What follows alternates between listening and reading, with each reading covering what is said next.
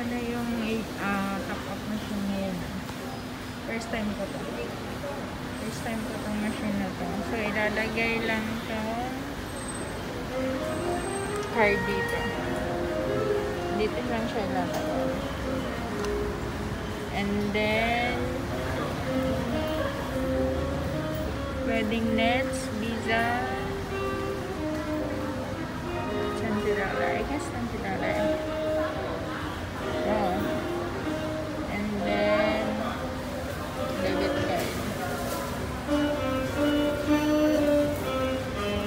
Tatap lang. Receipt. Oh. Diba? Cute. Receipt.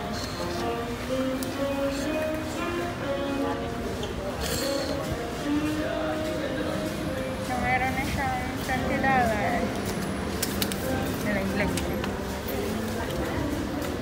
Ang galing. Ano ba? Con- Very convenient to. Very convenient tong machine na to. Dito to sa Asian.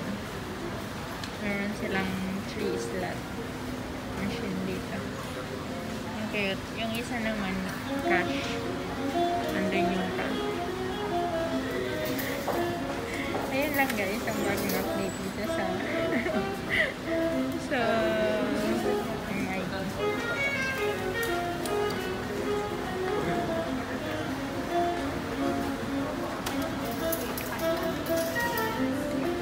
Okay.